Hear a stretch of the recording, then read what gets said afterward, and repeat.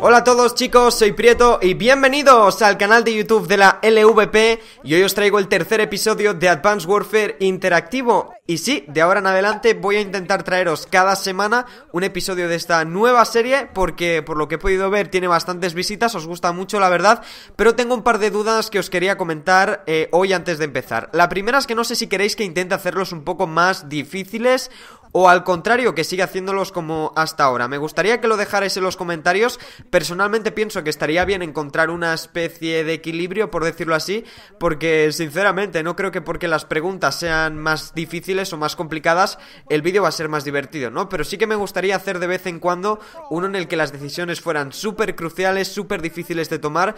Así que, bueno, ya si eso me comentáis. Y lo segundo es que no sé si queréis que haga todos los episodios eh, que me quedan hasta Black Ops 3 en Advanced Warfare o si queréis que ya el próximo episodio, por ejemplo, lo haga de Black Ops 3. Si queréis que el próximo lo haga de Black Ops 3, me lo decís en los comentarios, que tengo bastantes gameplays guardados por ahí que me gustaría utilizar. Vamos ahora sí con el vídeo de esta semana, en este caso los protas son el equipo de Xquality y el equipo de Expressive.